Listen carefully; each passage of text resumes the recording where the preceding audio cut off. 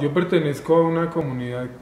del municipio de Guamalmeta, en el, específicamente en el centro poblado turístico de Humadea. Desde hace dos años estamos haciéndole frente a Ecopetrol para evitar que perforen una plataforma que construyeron a 6 kilómetros arriba del centro poblado turístico, a 100 metros del río Humadea, que está considerado como un patrimonio cultural y turístico del departamento, y lo que es peor, construyeron la plataforma aguas arriba de la bocatoma que surte el acueducto del centro poblado turístico a 130 metros de los tanques desarenadores del acueducto del municipio de Castilla la Nueva y de acuerdo a lo que está escrito en un, eh, esto se llama un plan de contingencia presentado por Ecopetrol a la ANLA, la plataforma quedó ubicada sobre un acuífero libre de 1032 hectáreas y eso reviste un peligro tremendo para la comunidad nuestra.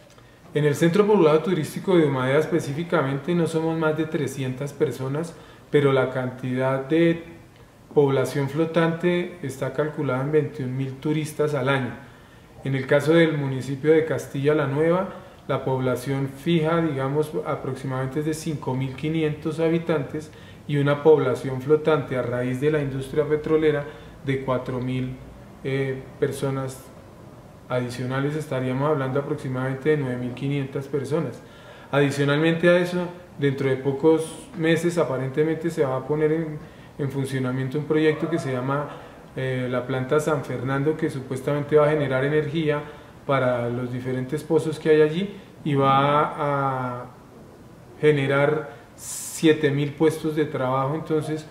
yo no sé de dónde piensan sacar agua para tanta gente. En el caso específico personal, digamos a nuestra familia, en marzo del año pasado mi esposa recibió dos llamadas al celular que básicamente, en la que básicamente le decían que si algo me llegaba a pasar a mí era culpa de ella por no convencerme de no seguir jodiendo con que nos oponiéramos al, al proyecto Lorito 1.